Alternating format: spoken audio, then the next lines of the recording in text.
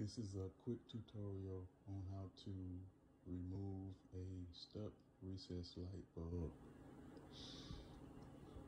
Uh, I come to find out that the light bulb was not actually stuck. What was happening was trying to unscrew the light bulb, I was putting pressure on the light bulb, pushing it up, trying to turn it, and that was causing it to not move. So one thing that I thought of after several attempts was to use a piece of Gorilla Tape, which is very strong sticky tape. I've used it before in the past and, and it held up pretty well.